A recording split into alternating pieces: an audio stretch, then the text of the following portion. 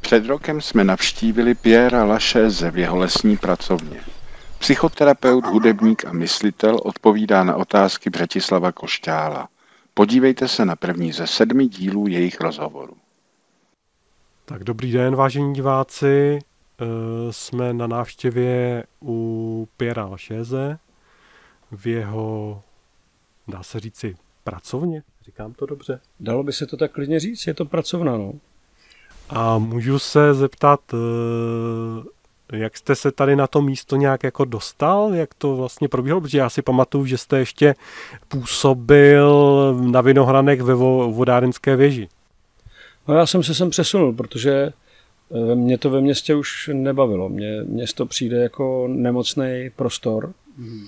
a eh, říkal jsem si, že když teda bych chtěl nějak pomáhat lidem, aby se harmonizovali, takže bych se měl nejdřív zharmonizovat nějak sám. A přijde mi to, že na té hlubinné rovině to ve městě vlastně už dneska není možný. Tak jsem se přesunul do přírody.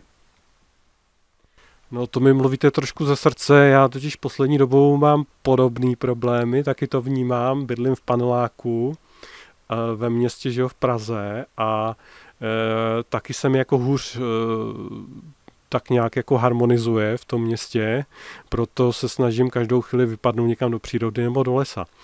Eh, já bych se vás zeptal, eh, daří se vám relaxovat nebo jakým způsobem relaxujete, když máte moc práce? Mně to přijde vlastně, asi to je ten bonus za to, že jsem se přesunul do té přírody, protože tady se mi zdá, že jako termín relaxace už jde trochu úplně na stranu, jo? Že, že relaxaci potřebujete, když se dostanete do nějakého napětí, tak se pak potřebujete uvolnit. Ale tady je příjemný to, že eh, tady řešíte jako reální problémy.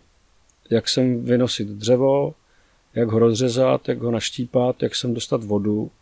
A to je samo o sobě buď tak stresující, že se vrátíte zpátky do města, nebo to začnete vnímat jako, že to je to, co vás kotví, co vás dostává do té reality.